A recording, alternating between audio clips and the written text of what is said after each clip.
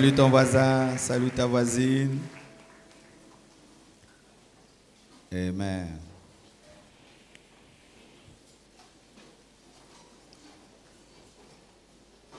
Nous bénissons Dieu pour tout ce qu'il est en train de faire au milieu de nous pendant ce séminaire. Nous bénissons Dieu pour hier. Amen.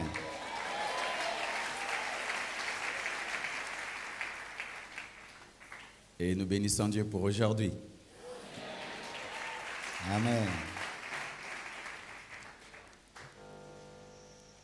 Vous allez me permettre de faire quelque chose pendant une minute.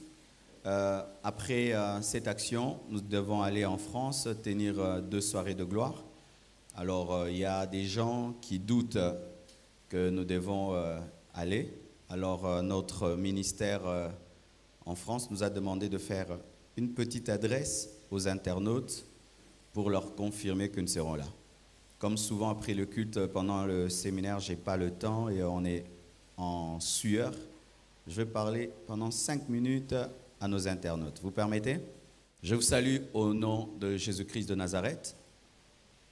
Je m'aimerais vous confirmer que nous serons précisément à Argenteuil, en France, pour tenir deux soirées de gloire, le 21 et le 22 avril. Pour tous ceux qui ont besoin de précision, vous allez avoir l'adresse au bas de l'écran, vous aurez les numéros de téléphone pour joindre un frère qui pourra vous donner tous les détails. Nous sommes heureux de savoir que vous viendrez de partout. On nous a dit que vous viendrez de l'Angleterre, viendrez de la Belgique, de l'Allemagne, du Luxembourg, de la Suisse. Et cela nous réconforte grandement. Priez et venez avec une grande soif, non point pour rencontrer un homme, mais pour rencontrer Dieu qui sera certainement au rendez-vous. Nous confirmons que réellement nous serons en France du 21 au 22 pour deux grandes soirées de gloire. Que Dieu vous bénisse abondamment et soyez les bienvenus. Amen. Que Dieu bénisse. Merci beaucoup. Nous allons nous tenir debout enfin de lire la parole du Seigneur.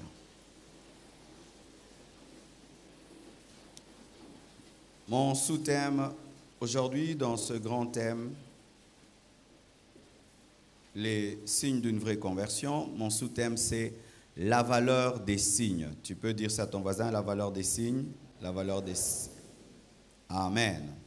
Nous lisons Esther 6, verset 3 et Hébreu 2, verset 4. Esther 6, verset 3, Hébreu 2, verset 4. 4. Nous commençons par Esther 6, verset 3.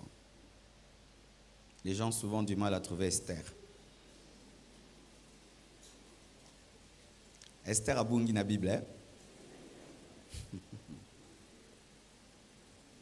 Vous y êtes? Pas encore.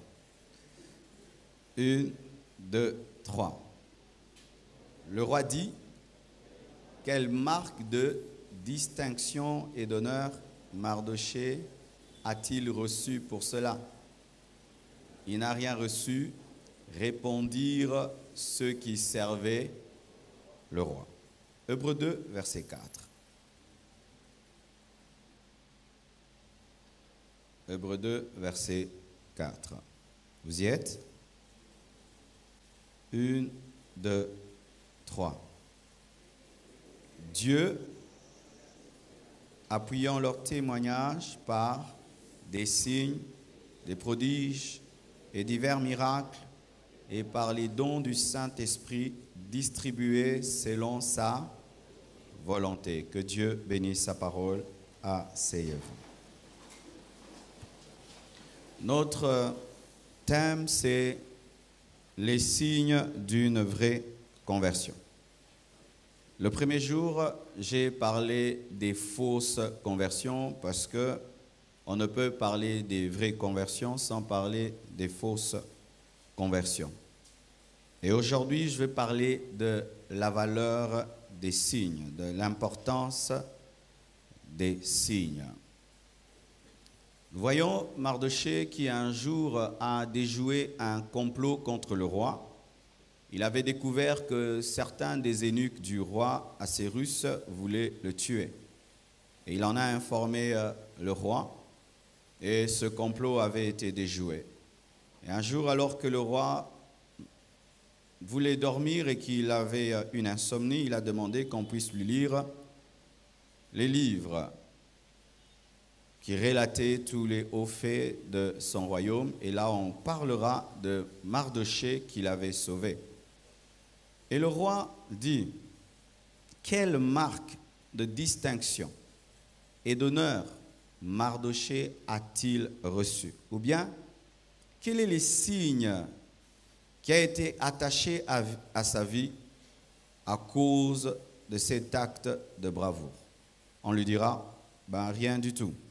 C'est ainsi que le roi a demandé qu'on puisse mettre Mardoché sur son cheval, qu'on puisse le revêtir des habits royaux et qu'Aman puisse crier devant lui dans toute la ville. C'est ainsi que l'on fait à l'homme que le roi veut honorer. C'est-à-dire que lorsqu'on voyait Mardoché sur le cheval royal, habillé des vêtements royaux avec Aman devant lui, tout le monde savait qu'il était honoré parce que c'était un signe d'élévation. Amen. Hein?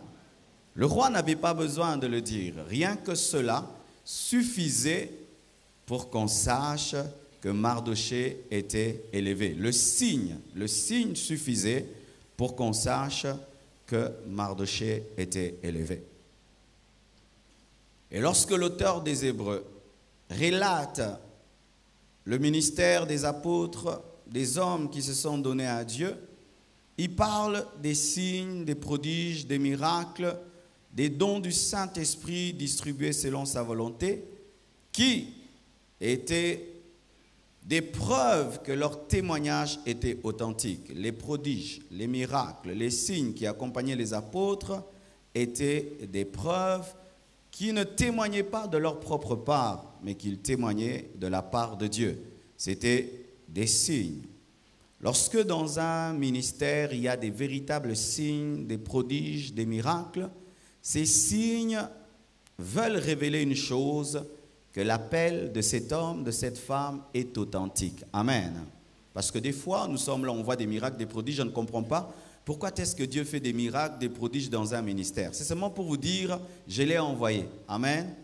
Il vient de ma part. C'est pourquoi Moïse, lorsqu'il fut envoyé par Dieu, a demandé des signes, des prodiges et des miracles. Comment est-ce que je vais leur prouver que tu m'as envoyé?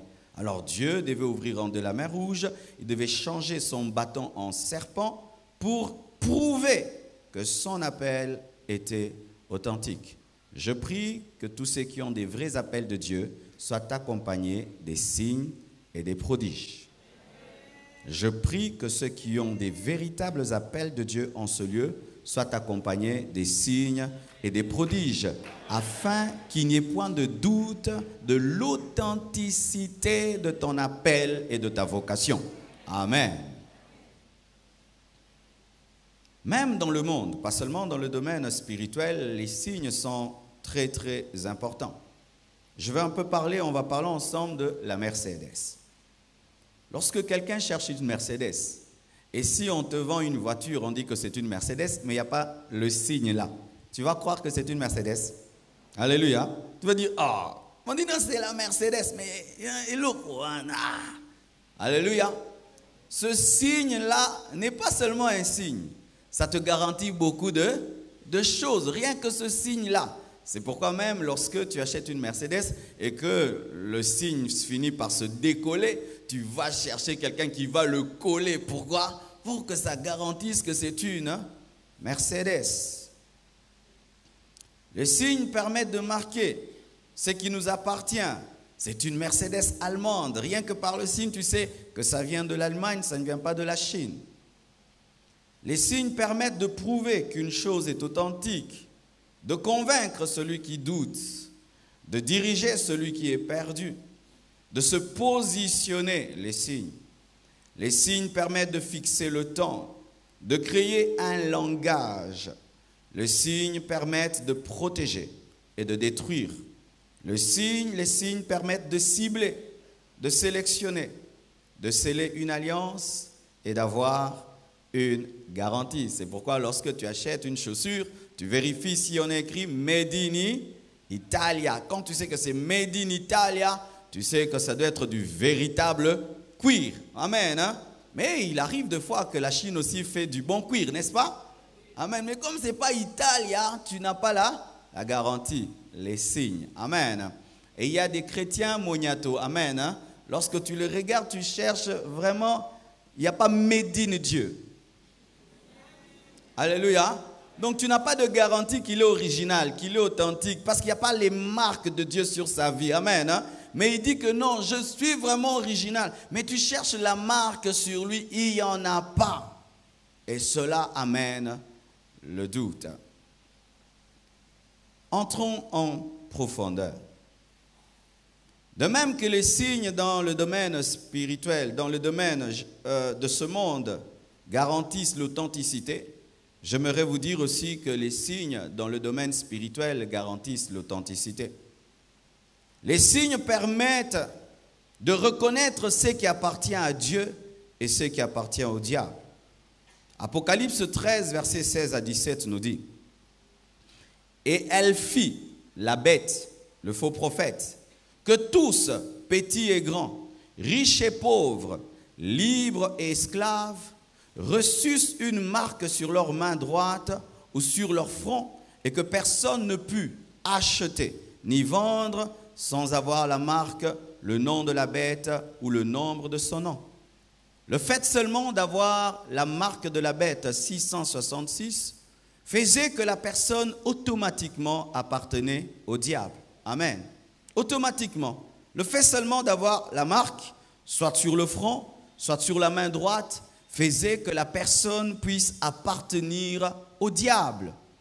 Et Dieu, lui, ne nous marque pas avec une lettre ou un chiffre 7788, mais il y a des signes qui révèlent qu'une personne appartient à Dieu. Lorsqu'une personne appartient à Dieu, elle a toujours certains signes. Et lorsqu'une personne appartient à Satan, elle a aussi certains signes. Les signes dont mon message ce ne sont pas des chiffres, mais c'est un style de vie, des styles de vie. Car même les personnes qui ont la marque de la bête et qui auront la marque de la bête 666 n'auront pas seulement qu'un chiffre, ils auront aussi un style de vie. Amen. Premièrement, ce seront des personnes qui auront raté l'enlèvement. Donc si tu rates l'enlèvement, donc tu ne marches pas avec la crainte de Dieu. Amen. Hein. Avoir la marque 666, ne commence pas d'abord par un chiffre, mais commence d'abord par un style de vie. Amen. Hein? Le style de vie que tu mènes, s'il est mauvais, fera que tu vas rater l'enlèvement. Et quand tu rates l'enlèvement, tu vas rencontrer l'Antichrist. Et quand tu rencontres l'Antichrist, il va te proposer sa marque. Et quand tu acceptes sa marque, ce ne sera que la confirmation que tu as été toi-même un Antichrist. Vous comprenez ce que je dis? Tu ne peux pas dire que je suis une bonne personne, mais j'ai la marque de la bête. Les mauvaises personnes ont la marque de la bête. Il n'y a pas de bonnes personnes qui attrapent la marque de la bête. Car si tu es une bonne personne, tu seras enlevé. Alléluia. Et si maintenant tu dis que non, moi j'étais une bonne personne, mais je ne comprenais pas très bien l'évangile, alors dans la tribulation, tu accepteras de mourir au lieu de prendre la marque de la bête. Les personnes qui seront marquées par le chiffre de la bête seront des personnes qui aimeront leur vie plus que Dieu, comme il y en a déjà aujourd'hui. Est-ce que vous comprenez ce que je dis? Aujourd'hui, je vais aller avec vous lentement. Amen. Hein? Vous savez, frères et sœurs, si aujourd'hui, dans cette vie-ci, où nous pouvons prêcher, il y a des gens qui débordent dehors, la police ne vient pas, le, gouvernement ne nous dérange pas, personne ne nous dérange. Tu n'arrives pas à te donner à Dieu. Tu penses que si tu rates l'enlèvement, tu pourras te donner à Dieu. Tu ne pourras pas te donner à Dieu. Tu attraperas certainement la marque de la bête. Car lorsque les choses étaient faciles, tu étais incapable. Maintenant que les choses seront difficiles, comment tu feras? La Bible dit que si tu cours avec les hommes et les hommes te fatiguent, comment est-ce que tu vas courir avec les chevaux? Si les choses sont faciles et accessibles, tu es incapable d'être un chrétien consacré. Tu penses que tu pourras être consacré dans la tribulation? Alléluia. Aujourd'hui, qui a été tabassé pour sa foi? Personne. Qui a été maltraité pour sa foi? Personne. Mais malgré cette facilité, tu vis dans des péchés. Tu t'opposes à la parole de Dieu. Et tu penses que si tu rates l'enlèvement, et tu vas refuser la marque de la bête. Non, tu attraperas la marque de la bête parce que tu es déjà prédisposé à cela. Est-ce que vous comprenez ce que je dis? Bien aimé frère, si tu rates l'enlèvement, j'aimerais te dire que tu prendras facilement la marque de la bête. Parce que déjà tu as une marque de la bête spirituelle car tu subis le mystère de l'iniquité. Avant la marque de la bête, il y a ce qu'on appelle le mystère de l'iniquité. C'est-à-dire, c'est un précurseur de la marque qui vient pour préparer l'arrivée de l'Antichrist, comme Jean-Baptiste était venu pour préparer l'arrivée de Jésus-Christ. Et celui qui recevait facilement le baptême de Jean-Baptiste recevait facilement l'agneau de Dieu qui est présenté par Jean-Baptiste. Et celui qui subit le mystère de l'iniquité recevra facilement la bête. Pourquoi? La bête ne fait que ce qui a été fait pour Jésus-Christ, car le diable n'invente jamais un nouveau système il ne fait que copier Dieu. Si déjà tu es le disciple du Jean-Baptiste de la bête, tu vas accepter la bête. Si déjà tu reçois facilement le baptême de Jean-Baptiste, tu croiras au Messie. Et si tu acceptes l'esprit du monde, tu recevras la marque qui est le signe du monde. Est-ce que vous comprenez ce que je dis? Ta mondanité est déjà le signe de l'ennemi dans ta vie qui attend que tu reçoives le vrai cachet sur ton front ou sur ta main. La main, c'est le travail. Le front, c'est la réflexion. Si déjà tu réfléchis comme un mondain et dans ton travail, il y a le diable, il y a le vol, il y a des mauvaises choses, tu as déjà une marque invisible mais qui est réelle. Si ton raisonnement est satanique, démoniaque, voilà par exemple ces derniers temps, il y a un gouvernement qui dit qu'il légalise quoi? L'adultère. Amen. Hein? Et il y a quelqu'un qui croit cela. C'est déjà l'esprit de l'Antichrist qui est déjà dans sa tête et il attend sur sa tête seulement une marque.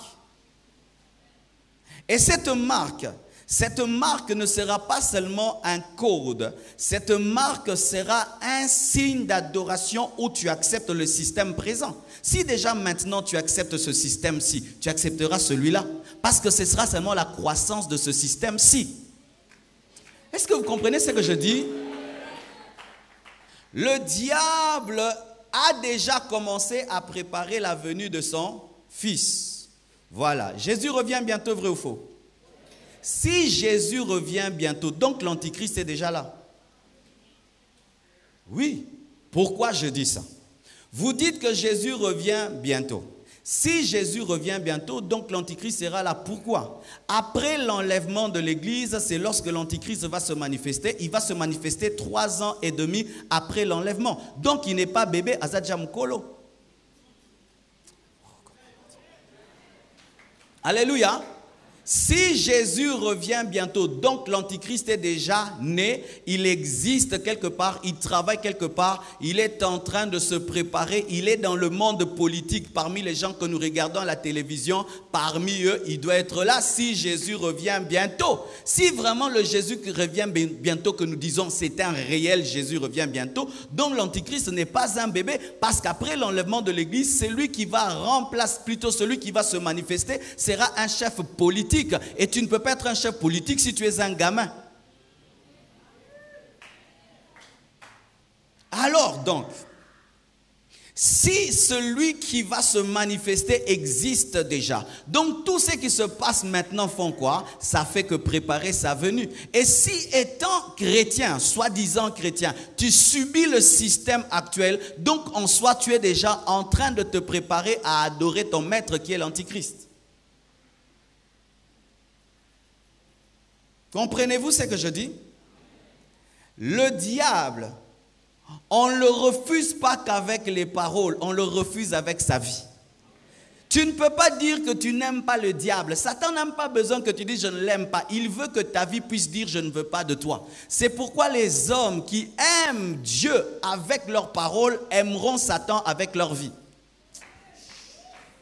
Lorsque tu aimes Dieu avec tes paroles, sans l'aimer avec ta vie, ta vie aimera Satan. Car dans la spiritualité, il n'y a pas de neutralité. Tout ce qui échappe à Dieu est récupéré par Satan. Amen. Les signes permettent de reconnaître ce qui appartient à Dieu. Amen. Ou à Satan. Voici. Est-ce qu'une Mercedes a besoin de dire qu'elle est une Mercedes? Tu la regardes, tu dis c'est une Mercedes. Tu regardes une Mazda, c'est une Mazda. Tu regardes une Toyota, c'est une Toyota. Tu n'as pas besoin qu'elle dise je suis Toyota. Il y a des choses qui révèlent une Toyota. Il y a même des gens, lorsque seulement tu conduis, ils disent ça c'est un moteur Toyota. Comment? Les Toyota ont tel son et tel autre son.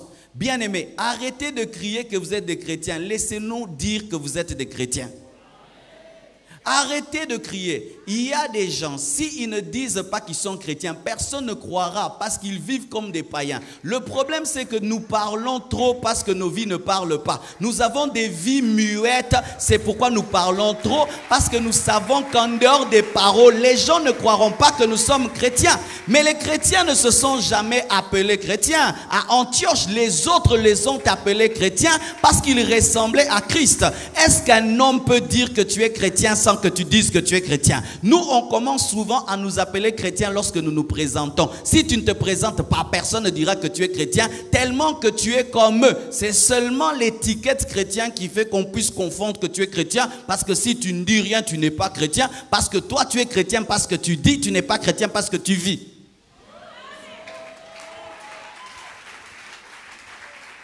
Alléluia. Hmm. Remarquez, même à l'église, qui sont les personnes les plus spirituelles? Ce sont les personnes qui ne disent rien. Regardez bien les personnes qui disent, moi je prie beaucoup, moi je crains Dieu, moi je suis ceci. Tu vas suivre, ce sont des faux chrétiens. Les vrais ne parlent pas. Les tonneaux vides font trop de bruit. Mais les tonneaux pleins glissent et on ne sait pas, mais il y a de la lourdeur. Hmm. Lorsque un tonneau est vide, il fait du bruit sur les pierres, mais il ne laisse pas trop de traces. Mais lorsqu'un tonneau est plein, il ne fait pas beaucoup de bruit, mais il laisse des traces. C'est pourquoi les véritables chrétiens ont de l'impact et ceux qui n'ont pas de l'impact sont souvent des des des pola et mataralikolo au cancer fobalia.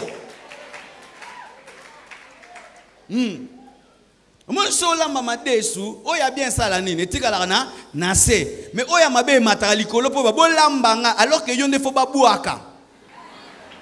Alléluia. Ah, y a trop de chrétiens madesu epola mpe madesu epola mpo anini mpo eza na nyama mpo eza na nkusu. Yo mpe oza na nkusu nkombo nango lisumu na demo nde etindaka ogangaka nga aza mwa nzambe nga mwa nzambe so oza mwa nzambe tikala sa nzungu. Alléluia est-ce que si tu te tais et tu ne dis rien et moi seulement je commence à suivre ta vie je finirai au ciel? Ebike lelo noloba makambo e nanga mona osentir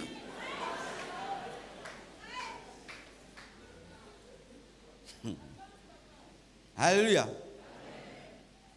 Si tu te tais, tu restes calme. Moi, je dis, je ferai tout ce que tu feras. Si tu ris, je ris. Si tu danses, je danse. Si tu pries, je prie. Si tu chantes, je chante. Là où tu vas, j'irai. Je vais finir où? Au ciel ou en enfer Beaucoup de chrétiens, ils parlent beaucoup. Mais si seulement on se scotche à leur vie et on les suit partout, tu te retrouves le soir chez Temba. Il y a des papas ici, si seulement je commence à lui suivre, il va m'amener chez sa deuxième femme. Il y a des sœurs ici, si seulement je dis, lelo nganayo, to suke pas mushina mo lelo. Il y a des frères ici, si je le suis, on va finir dans la masturbation la nuit. Eh. Il y a ici. Donc, si tu dis, ce que tu fais, moi je fais. Toi, tu ne, me prêche pas. Toi, c'est mon fait. Si tu le suis, tu vas faire deux semaines, tu ne pries pas. Deux semaines, tu ne vas pas prier. Si tu le suis, tu ne vas même pas donner l'offrande d'aujourd'hui. Yo, Est-ce que prévoir en haut?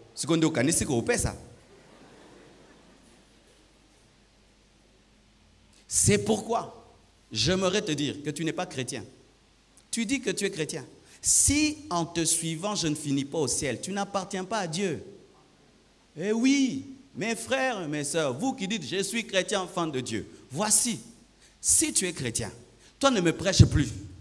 Laisse-moi faire tout ce que tu fais et que je finisse au ciel. Laisse-moi, toi ne me prêche pas. Vis, moi je te suis.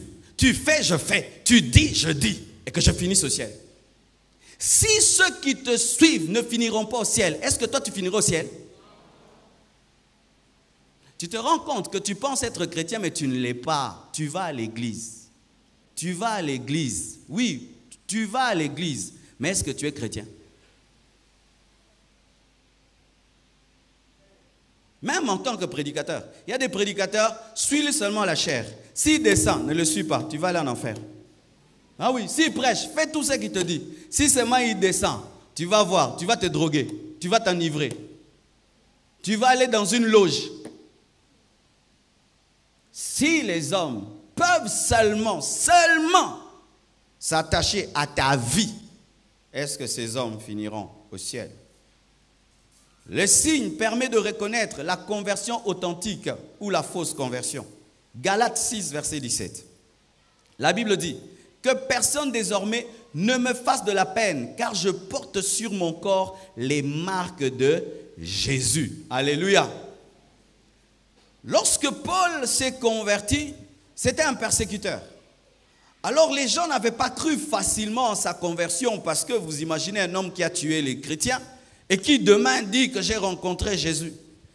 Et lui, qu'est-ce qu'il présente? Il présente les marques de celui qui est mort dans sa propre vie. Alléluia. Lorsque les gens douteront de ta conversion, qu'est-ce que tu présenteras? Lorsque les gens douteront de ta conversion, qu'est-ce que tu présenteras? Paul présente dans sa vie les persécutions qu'il endure dans sa chair à cause de Jésus. Lorsque tes amis douteront que tu es chrétien, qu'est-ce que tu présenteras? Tu vas dire, j'ai une Bible, j'ai une carte de membre. Tu vas dire, regardez ma vie, j'ai changé. Alléluia. C'est la plus grande garantie que tu puisses donner au monde. Ce n'est pas que je vais à l'église. Non, non. Regardez-moi, j'ai changé. Alléluia.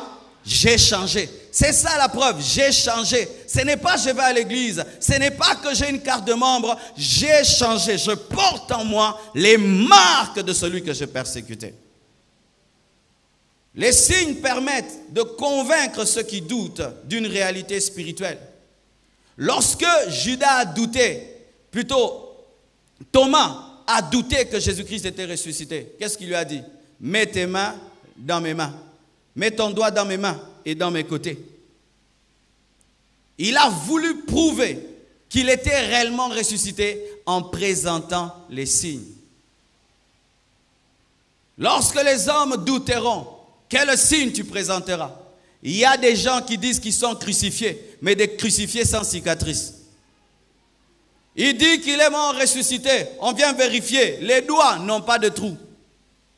Il dit qu'il est mort ressuscité. On vérifie, le côté n'est pas percé. Il dit qu'il est chrétien. On vérifie, la croix n'est jamais passée par là. Vous connaissez les traces de la croix dans ta vie? Ce sont tous les sacrifices que tu acceptes lorsque tu suis Jésus. Tout le monde t'a connu que toi tu étais ivrogne. Tout le monde t'a connu impudique. On ne te retrouve plus là-bas.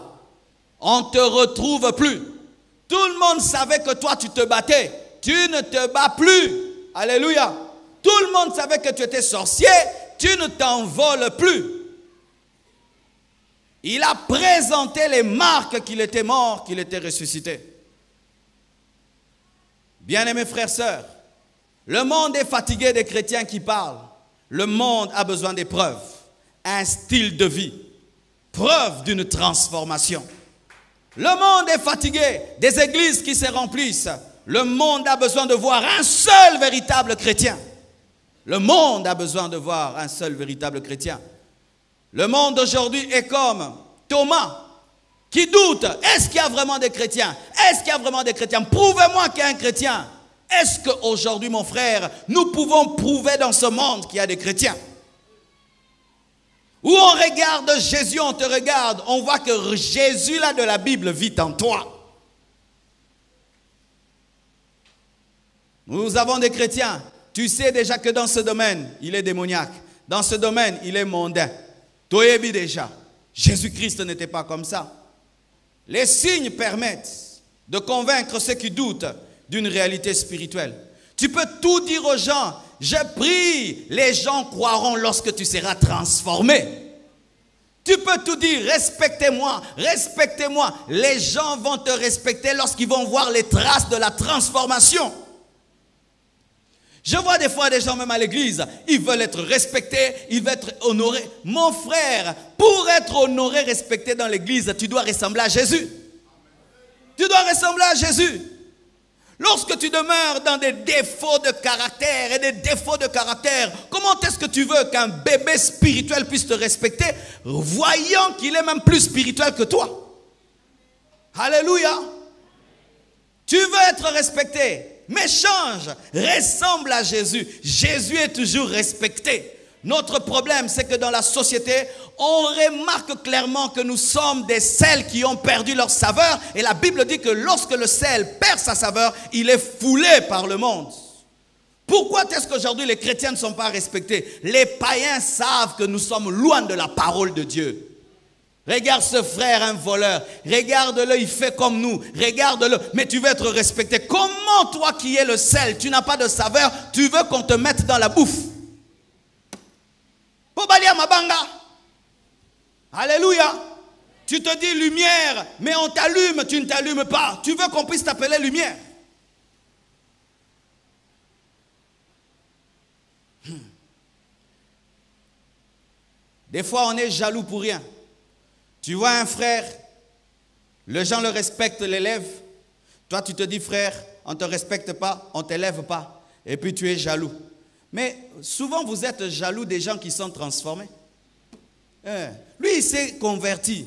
Lui, il a changé. C'est pourquoi Dieu l'élève. Mais toi, tu viens dans les choses de Dieu, tu fais des blagues. Dieu ne t'élève pas. Mais nous, tu es fâché de quoi? Tu es fâché, tu es jaloux de sa croix. Mais porte la tienne. Ah, je vais parler, je vais parler. Donnez-moi la main, je vais parler. Toi, tu viens dans les choses de Dieu, tu es en train de t'amuser. Lui, il est sérieux avec Dieu. Et Dieu commence à l'élever, à le bénir. Et tu es jaloux de cela. Souvent, nous sommes jaloux de la récolte des gens, mais nous ne sommes pas jaloux de leur sémence. Alléluia. Tu veux que chez vous à la maison, lorsqu'il y a un problème, qu'on puisse t'inviter à prier. Mais on sait que toi, avant de prier, tu as fait ceci et cela. C'est pourquoi on appelle l'autre là. On sait que lui, il est sérieux dans les choses de Dieu. Alléluia. Frères et sœurs, dans les choses de Dieu, tu n'as même pas besoin de te battre. Ressemble seulement à Jésus. Si tu es comme Jésus, tu finirais, toujours par être enlevé. Jésus n'est pas resté sur la terre. Un jour, il s'est enlevé. Il s'est envolé. Beaucoup de chrétiens veulent la grandeur et l'élévation, mais ne ressemblent pas à celui qui est monté. Si tu ressembles à celui qui est monté, tu monteras et tu seras assis avec lui à la droite de Dieu le Père. Oh Rabashaya. Hmm. Écoutez ceci. Lorsque un ballon veut se lever, qu'est-ce qu'il fait? Il perd de plus en plus sa, sa masse ou de plus en plus son poids. Ce qui fait que l'air commence à le faire monter. Et dans les choses de Dieu, si tu veux que Dieu t'élève, de plus en plus tu dois mourir à toi-même. Mais le problème, c'est que maintenant dans l'église, les gens pensent que c'est leur intelligence qui élève. Non, dans les choses de Dieu, ce sont les morts qui sont enlevés, ce sont les gens qui ne pèsent pas. Ainsi, lui comprend les principes de la croix. Toi, tu ne comprends pas les principes de la croix. Tu feras dix ans, tu n'es jamais enlevé. Pourquoi tu n'es jamais élevé? Parce que toi, tu es vivant, lui, il est mort. Alléluia. Oh, pourquoi lui, on le respecte? Pourquoi lui, on le respecte? Parce que lui, il est mort. Parce que lui, il est mort. Je ne jalouserai jamais quelqu'un que Dieu utilise plus que moi. Je vais me poser des questions. Qu'est-ce qu'il fait? Pourquoi lui, quand il prie, Dieu l'exauce? Mais je ne vais pas commencer à m'opposer à lui, le combattre. Non. D'ailleurs, le fait même de combattre quelqu'un qui est exaucé prouve vraiment que toi, tu es vivant. Un véritable enfant de Dieu ne désire jamais la chaise de quelqu'un, l'élévation de quelqu'un, parce qu'il sait que l'homme ne peut recevoir que ce qui lui était envoyé du ciel. Ah, je sens que je dois vous parler un peu. Voilà. Lorsque vous venez à l'église, vous avez des grands projets souvent avec Dieu. Que Dieu m'élève, parce que certains Dieu les a appelés être grands dans l'église, être élevés dans l'église. Voici le secret pour être élevé dans l'église. Ne, cherche pas à être élevé dans l'église. Cherche à ressembler à Jésus. Euh, si tu travailles à côté d'un homme de Dieu qui est spirituel, il te combattra, il s'opposera à toi parce que celui qui est spirituel sait détecter la chair. Ne vous battez jamais pour être grand dans cette église. Vous allez rester petit. Effacez-vous, nous allons vous trouver. Parce que parmi les gens debout, le seul qui est assis, c'est lui qui est reconnu. Est-ce que vous comprenez le bas Sois le seul mort parmi les vivants. On va chercher à te trouver. Mais sois vivant parmi les vivants, tu deviens normal. Sois le chrétien brisé parmi les orgueilleux, on te trouvera. Vous vous battez pour rien, alors que l'élévation c'est très facile. Meurs. wamba moko akomi star me kaka okufa mwana okoma star. Tokata mateya mpo na vrai ou faux? Oh. soki oba moko bo ah, okufi bi na kati mateya biso nyonso tokomi otalo biso nyonso tokomi osambelelo biso nyonso tosali cercle. Biso tokomi olelela yo. Okomi moko star mpo okufi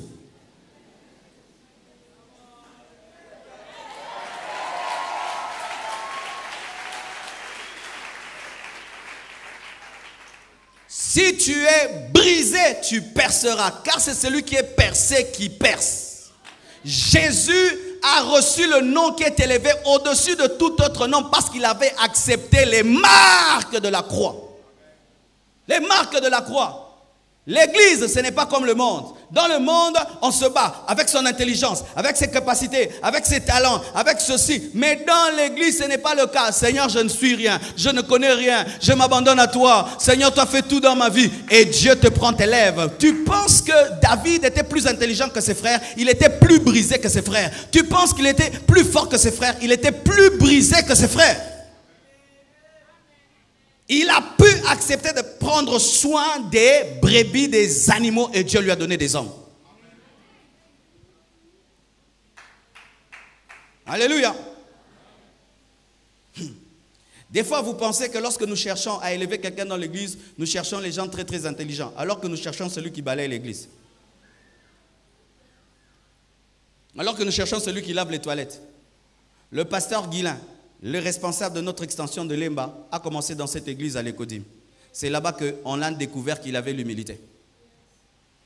Il y a un papa dans cette église qui m'étonne. C'est un homme de Dieu. Ça fait des années et des années. Il vient dans cette église. Il est déjà pasteur, prédicateur. Je lui dis, ici, tu dois aller à l'école des membres. Il va à l'école des membres. Et après, je le vois maintenant à l'école du ministère. Je sais que ce que je lui dis, il connaît déjà. Mais ce qui m'épate en lui, ce n'est pas son appel, c'est son cœur d'enfant. Alléluia. Ce n'est pas, son, ce n'est pas ses capacités, c'est sa capacité d'oublier ce qu'il est afin de devenir quelqu'un d'autre. yango yo na nzambe esimbaka te mpo nini yo alors ke ye course yango eza skipper gagne.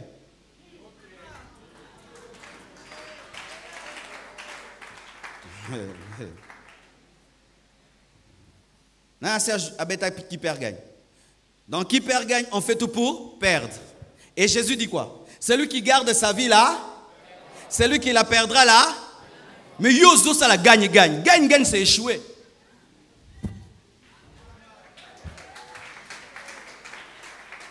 Vrai, de vrai, de vrai.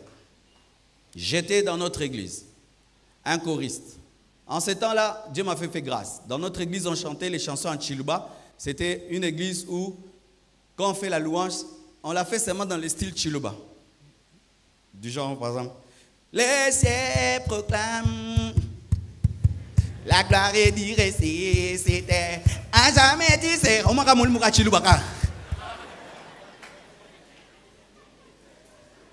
Alors moi, j'ai fréquenté la borne et j'ai fréquenté notre église. Alors j'amenais de nouvelles chansons et j'amenais l'adoration. Alors quand j'entonnais, le, tout le monde était content. Mais il fit un temps, quelqu'un ne voulait plus que je chante. Pourquoi Il était jaloux du fait que je chante et que tout le monde soit content? Et qu'est-ce qu'il faisait maintenant? Quand on devait chanter comme j'étais de grande taille? Ah, vous ne croyez pas que je suis grande taille? Je suis une créature merveilleuse. D'un mètre 65. Alors, qu'est-ce qu'il faisait? Il mettait le micro là. Et moi, j'étais ici. Mais c'est toi qui as la chanson. C'est toi qui as l'onction ces derniers temps. Mais on te met le micro là. Imagine si tu chantes là, l'autre est là, il chante, toutes les odeurs dans ta bouche. Alors tu vas subir tout ça, tu le laisses chanter, il chante, il chante et il chante. Et les gens disaient, mais Marcelo, mais pourquoi tu chantes plus? J'ai dit non, Dieu ne permet pas que je chante, je chante. Non, Marcelo, il faut que tu fasses quelque chose parce que tu dois chanter. J'avais déjà appris dans la vie la grâce de céder. Les hommes forts cèdent, ils ne se battent pas. Hein? Les hommes forts ne se battent pas, ils te laissent. Prends ça, comme toi tu es venu à l'église pour chanter, pour te battre pour des micros, je te laisse ton micro, chante. Et moi Dieu m'a donné l'église. Lui, on lui a donné le micro. Ah. Ne te bats jamais avec Eliab parce qu'Eliab pense que la vie s'arrête au champ de guerre alors que Dieu voit un royaume pour toi. Alléluia.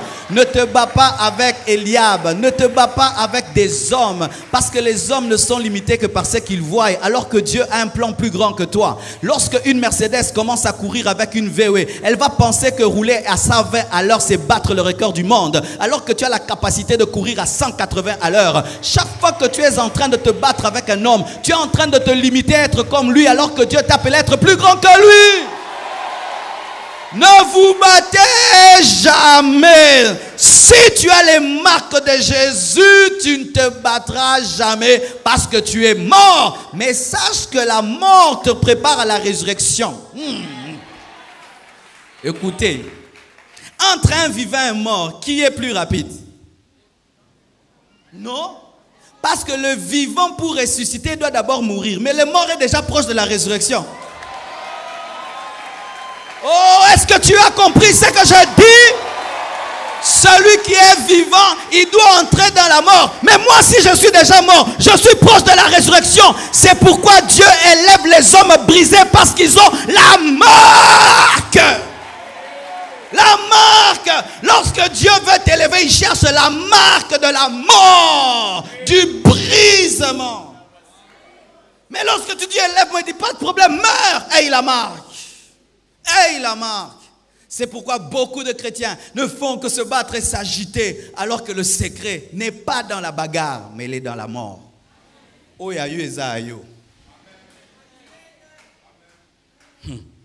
Tu es un garçon. Tu vas dans une famille, tu veux épouser une fille. Il y a sept filles. Tu veux épouser laquelle? Oh, Boudéo. Oh, qui peut Bah, frère, aussi. Et ça bon, oh. Eh. Toutes, quand ils viennent là, elles sont normales, toutes se battent. Mais moi, je qui peut tout taper ce qu'on là. Eh, pas. On a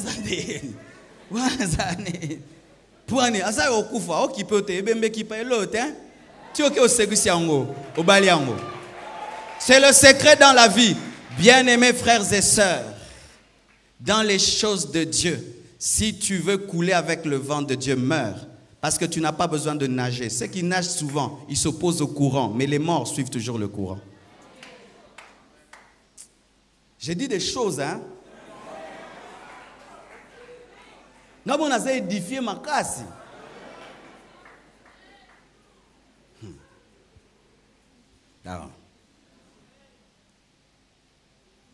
Quel genre de noyé tue le maître nageur? Ce sont les noyés qui ne sont pas suffisamment noyés parce qu'ils ont assez de force pour te tenir les deux mains et vous mourrez ensemble. Qu'est-ce qu'un vrai maître nageur fait? Il te laisse boire tous les gobelets du monde. Tu es tellement étouffé et évanoui, comme ça il peut même te tirer par l'oreille, il te sauve. C'est pourquoi Dieu attend que tu meurs totalement afin d'agir dans ta vie. Parce que si tu es vivant, tu vas l'empêcher de faire ce qu'il doit faire. C'est pourquoi Dieu a voulu que Adam dorme pour lui donner sa femme. Parce que s'il était vivant, ça allait faire des discussions jusqu'à aujourd'hui. Nzambe changé. Nangi a changé. Si ko démarche te ya antilope a changé. Si ko na lingi azala kansa zèbre te a changé. Lala, lala, on là. Olali. Voici cette fois-ci l'os de mes os, la chair de ma chair. Pourquoi? Il était mort, il dormait, il ne pouvait rien. C'est alors que Dieu lui a donné. Tu veux Ève? Où est la marque de la mort? Tu veux Ève? Où est la marque? Où est la marque? Abraham, très fort, Isaac ne vient pas. Quand maintenant il atteint le niveau zéro et que sa femme est doublement ménopausée, il donne Isaac. Pourquoi? Pour qu'Abraham ne dise pas c'est ma force, mais c'est Dieu. C'est Dieu. Tant que Jacob avait la force, il n'est pas devenu Israël lorsqu'il est devenu infirme boiteux et que son l'emboîture de sa hanche, la hanche qui est la chose principale chez les bergers, était anéantie, c'est alors qu'il est devenu prince. Un prince qui boite comptant sur celui qui l'a cassé. Yoga. Tika nzamba buka o a dédommagé o.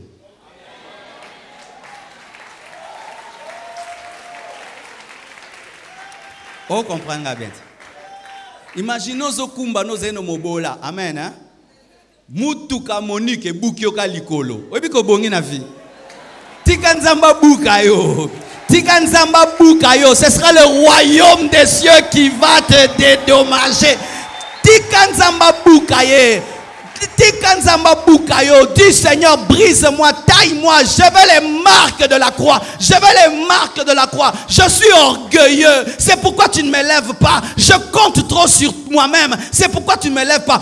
Aujourd'hui, brise-moi et dédommage-moi. Lorsqu'il avait la force, il fouillait devant Esaü. Mais quand il a commencé à boiter, Esaü vient, lui aussi vient. Esaü vient, lui aussi vient. Imagine, obanga.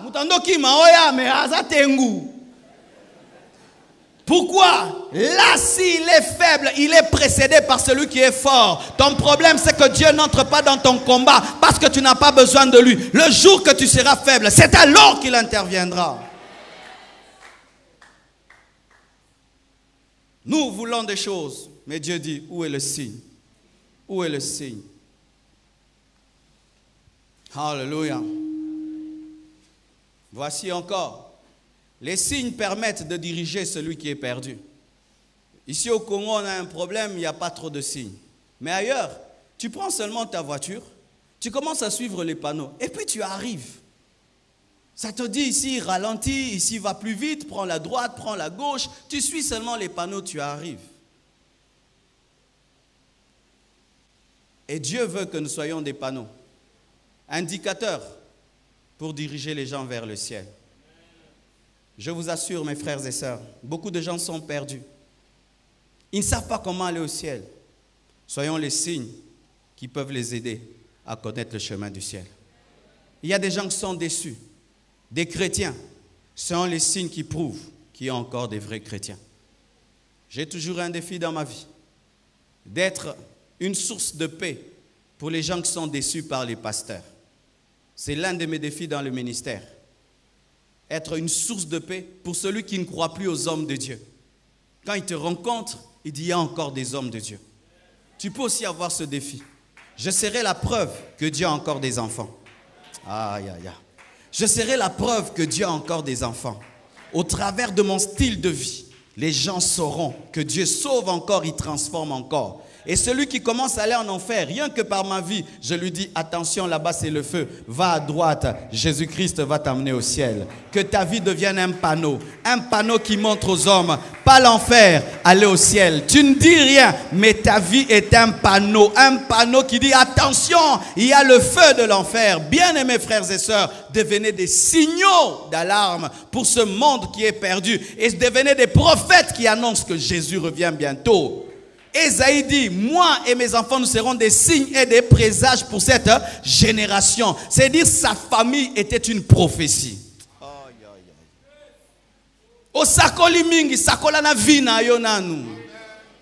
Nous prophétisons trop. Ainsi dit le Seigneur. Que ta vie devienne un ainsi dit le Seigneur. Que ta vie devienne une lettre vivante écrite avec l'Esprit de Dieu. On te regarde, on lit sur toi 1 Corinthiens 13. Oh! Les gens se donnent trop les noms des versets lorsqu'ils veulent être anonymes. C'est les frères Jean 10, 10. Si tu pouvais être vraiment Jean 10, 10, on te regarde vraiment. Le voleur vient, mais dans cette vie, Jésus-Christ est venu afin de donner une vie abondante. Que ta vie devienne un passage biblique. Que ta vie devienne un passage biblique, devienne un chapitre. Qu'on puisse te regarder, tu es le Nouveau Testament. Hmm. Un jour, un homme priait. Il a dit, Seigneur, utilise-moi pour changer les extrémités de la terre. Des années sont passées, les extrémités de la terre n'étaient toujours pas changées. Et il a dit, Seigneur, utilise-moi pour changer l'Afrique. Après des années, l'Afrique n'était toujours pas changée. Il a prié, Seigneur, utilise-moi pour changer ma nation. Après des années, la nation n'était pas sauvée. Et puis il prie, Seigneur, utilise-moi pour sauver ma ville. Après des années, la ville n'est pas sauvée. Seigneur, utilise-moi pour sauver mon quartier. Après des années, le quartier n'est pas sauvé. Seigneur, utilise-moi pour sauver ma famille. Après des années, la famille n'est pas sauvée. Et puis dit, Seigneur, change-moi. Dieu dit, c'est là que j'attendais. C'est là que j'attendais. Nous demandons des changements, des transformations autour de nous. Est-ce que nous-mêmes nous sommes transformés? Nous demandons que les gens changent. Tu dois changer, hein? tu dois changer, hein. tu dois changer. Toi vraiment tu dois changer. Toi vraiment tu dois changer. Vraiment, yo, on a besoin de changement, ma casse na vie. Que dit la Bible? Toi qui as une poutre dans l'œil, tu es en train d'enlever quoi? Une paille dans l'œil de l'autre. Tu as des défauts en toi, mais tu es le premier à corriger les autres. C'est pourquoi eux voient mieux ton défaut parce que leur œil voit mieux que toi, parce que celui qui a une poutre ne voit presque rien. Ah. ndenge nini yo na libaya ya monene na lisu na yo ozomona yanga ya moke banda na yo mpo eza monene ozosentir yango te. Soki eza na eloko epesa motu kanda moto aza na defoi monene malingi ochange bato baza badefoi mike. Ndenge epesaka kanda? Eh? na, yo opesanga toli e mokili abengi bato. Boya C'est pourquoi tu prêches, c'est pourquoi tu chantes, tu dis je suis chrétien. Les gens ne croient pas pourquoi? Ils voient la poutre, la poutre. Ta poutre est visible.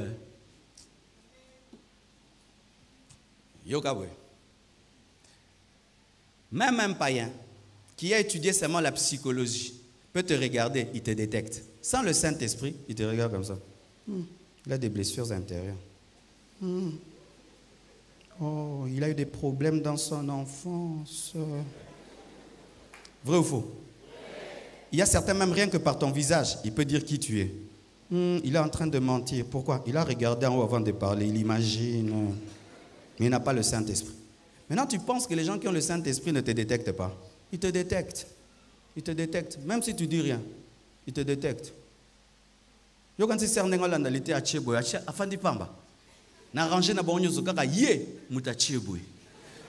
Très touché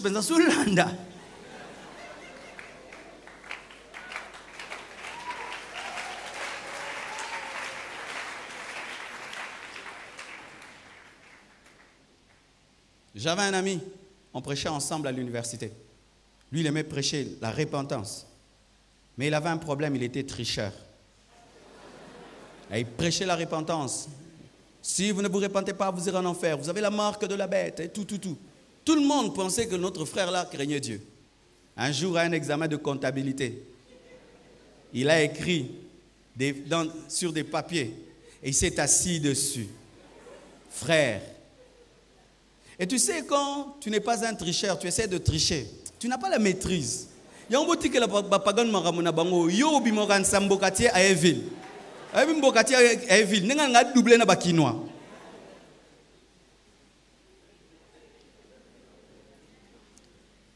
Et il commence à transpirer. Et le professeur qui était un musulman s'approche de lui. Il voit qu'il transpire, mais ah, comment tu transpires comme ça, il m'a Il dit, tiens-toi debout. Aboyi. Euh, frère, Tiens-toi debout.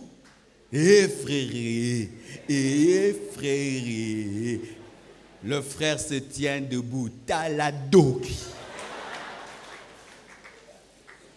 Oui, bi, asanin. Azwaka dok. Alongwa université tilelo akenda. Sonyele kaki. Pourquoi? Qu'est-ce qu'il pouvait encore prêcher avec une poutre dans l'œil? Qu'est-ce qu'il pouvait prêcher avec une poutre? Qu'est-ce qu'il pouvait prêcher? C'est pourquoi dans ce pays, les païens ne se convertissent pas parce que nous prêchons avec des poutres. Nous prêchons avec des poutres dans l'œil. Nous disons des choses, mais nous ne les vivons pas. C'est pourquoi ils ne croient pas. Commence d'abord par enlever ce qui est dans ton œil. Et facilement, tu pourras voir ce qui est dans l'œil de l'autre. D'ailleurs, il va te dire, enlève ça. Parce que tu as pu enlever ta poutre, tu pourras enlever ma paille. Que Dieu vous bénisse abondamment.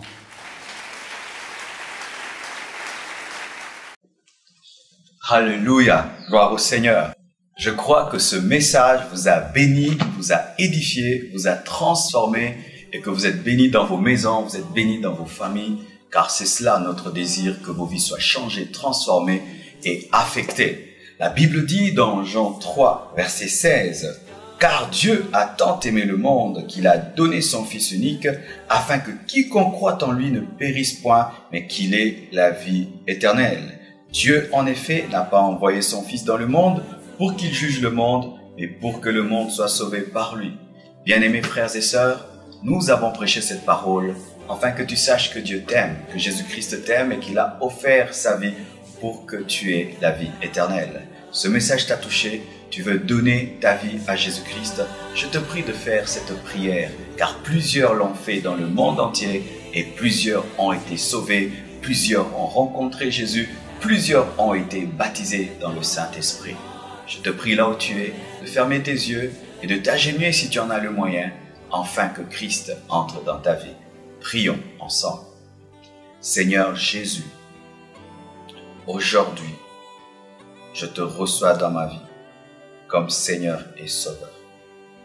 Pardonne mes péchés depuis que je suis né jusqu'en ce jour.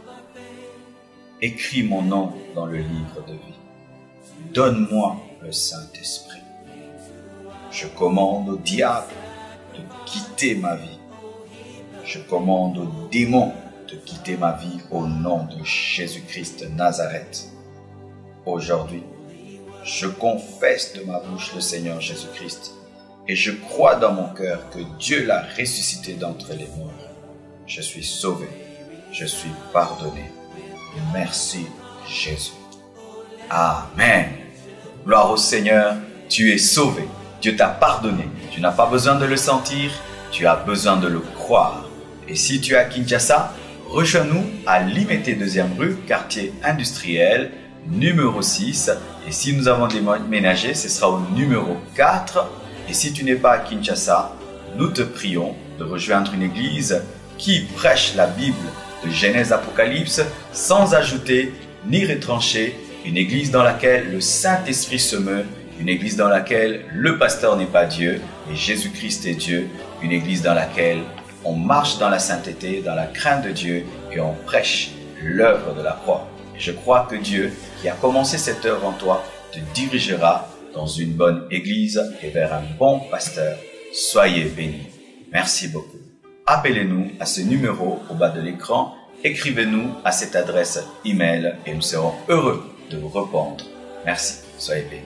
Amen.